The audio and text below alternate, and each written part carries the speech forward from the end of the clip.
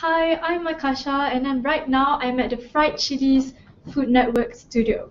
Today I'm going to show you one of the best cake recipes that you'll ever make.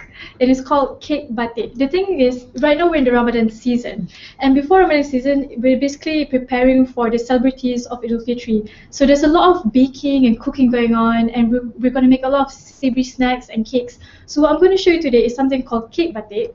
I'll tell you why it's called cake batik later, you'll see. And it's actually one of the easiest things you will ever make, and it tastes like heaven, I swear. Anyway, because it's so easy, there's like four ingredients in basically three to four steps. Trust me, even your kids can do it, come on. So what you're gonna have is one stick of butter. This is actually like half a stick, but you'll need one whole stick of butter. And then you'll have Milo, like 200, 400 grams of Milo. It, it can be substituted with cocoa powder or basically any uh, chocolate-based powder that you can find in your grocery store. The thing is, all these brands will um, influence what the cake tastes like. So it's up to you to really experiment with all these things. And then you're going to have a packet of biscuits, which will be the main bulk of the cake. And then you have condensed milk. This will make everything sweet. Anyway, what you do first is basically you melt the butter. You, you should heat the oven. Eh, the oven, oh my god, I'm terrible. The stove. You heat the stove and then let the butter melt till it's very nice and consistent like oil, although it won't be as bad as oil, I think. Anyway, the next step is to put a bit of condensed milk. It's basically one tin of condensed milk. And you can can you hear the sizzling noises? Yes, you can feel the heat. Oops. You can see it bubbling and see it boiling, looking really, really nice there. So you just keep on stirring until it's, it's a nice consistent mixture, you see. So I'm just going to keep on stirring this.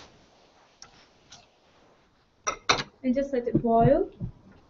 And afterwards, once this is cons consistently creamy and smooth. That's that's the main texture you're trying to get because this will be the basis for the chocolate sauce which you will pour over the biscuits to make the brownie cake, cake batik.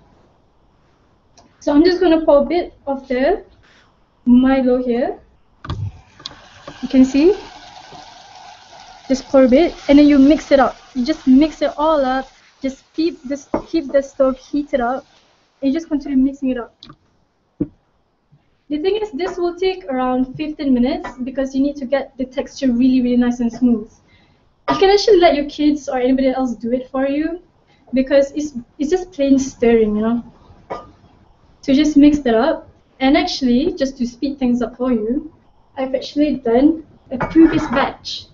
And I'm going to show you the consistency of it.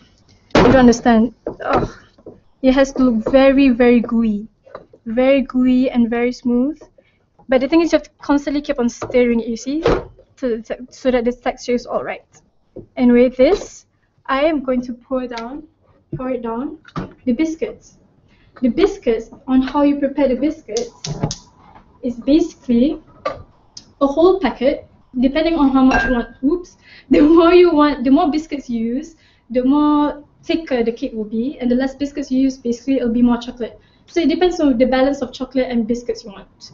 It can be crunchy or gooey depending on how you break the biscuits. The thing is, you need to break the biscuits so that it will be, so that you can layer on top of each other. It's, it's something like a layer cake, you see. Something like a brownie layer cake. But anyway, what you have to do is you have to break the biscuits. It doesn't really matter what size it is. You can get anybody to break it up for you. And it's, it's basically like a really fun thing to do, you see. You break it up and then while this, while the chocolate, while the chocolate sauce is boiling away, I am going to put the biscuits inside the pot because it's easier. But what you have to do is you have to make sure that the chocolate is already in a nice consistent texture, and you you take you switch off the stove before everything gets heated up. You switch off the stove, just mix it up just a little bit more to continue getting a nice texture. And then you can pour the little bit of biscuits inside. See? You can do this by hand, you can get anybody to do it. Get you can if you don't want to use a pot, you can get a, you can use a nice big bowl. And you just mix it up. Just mix it all up. Pour as much as you want. All the biscuits that you've broken. And then you have to mix it all up. The thing, the thing about this step is that you have to make sure every side of the biscuit is covered. You see? Yeah. So I'm just gonna mash it all up. And it doesn't matter if like the biscuits get broken or if it gets all powdery or if it gets too chunky. It's really up to you depending on what you want. The basis of this of this recipe is that it's all experimentation, it's all fun. So just mix it all up. Can you get a visual of this? You can see it all covered, really, really nice. See? Oh, look at that. You don't understand, but I'm here at the studio and this smells amazing. It really does. I mean, if I wasn't fasting, I'll be all over this right now. Trust me. Anyway, so once all this is covered, you will pour it on the tray. You can just use the tray that you want to serve it in. Basically, what I've done is I've laid it all down. It doesn't matter. It doesn't have to be really precise or really thick. What I did was just put a couple of biscuits together just to make it flat. You know, it's a lazy. It's really a lazy recipe. Anyway, I'm going to pour this in. This is actually, ooh, this is actually a bit too little, but you can put in as much biscuits as you want. Ugh. Oh, look at that. Honestly, just just look at this. Oh, it's really really messy. And trust me, one thing, it can get really messy, but because it's so good, it doesn't really matter. See, oh. Just gonna let you appreciate this. Like just let you appreciate this. So basically, once this is done, you just have to like swipe it around the tray. Hold on, let me just put this here. You swipe it around the tray, and you make it really nice and really. You just have to crush it in, like press it together to make sure all the layers are like really, really sponged in together because you don't want any air holes. Okay you don't want air holes, so you just push it in. It doesn't matter, you can do it by hand actually if you really want to get messy. And you, if you want an excuse to lick your fingers, this is the time, trust me. Just make sure that to watch everybody around you because the bowl with the chocolate will definitely get licked after this. Trust me. So what you do, you can just mix it up. The thing is, I normally do this with my siblings, you see. So then we, at this stage, we'll get all of us will get like a bunch of spoons and forks, and we just press it in together. And it doesn't really matter, you know, if you end up smacking somebody in the face because they'll get covered in chocolate, and it's really good. So you know, just it's a, it's a nice thing to do not only by yourself at three o'clock in the morning, but you know, with a whole bunch of friends. This is actually half of this serving that I normally do. So normally you can get you can have like a whole big tray of of cake batik.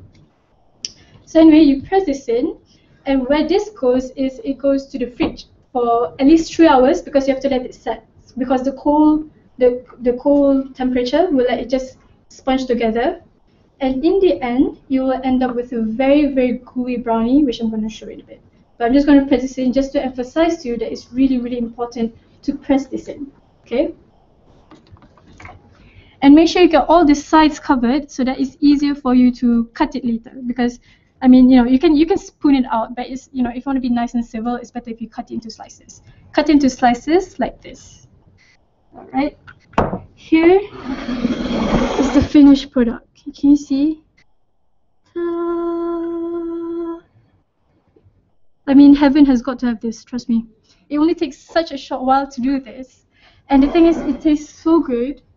And I'm actually going to show you what. See, you can you know why it's called cake batik? It's because of all these layers. It looks a bit like a batik pattern. Batik is an art form, like a painting art form that we have here in Malaysia. So you can see all the layers, of the biscuit and the chocolate just gooey together. And it doesn't matter if it's powdery or chunky, because in the end, I can't. I'm fasting right now.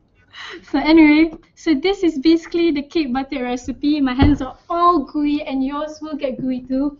Please continue watching our hangouts on friedchillies.com. I'm Acacia and this recipe is actually up right now and you can also check it at our website www.friedchillies.com. Please tune in for our next episodes. Bye!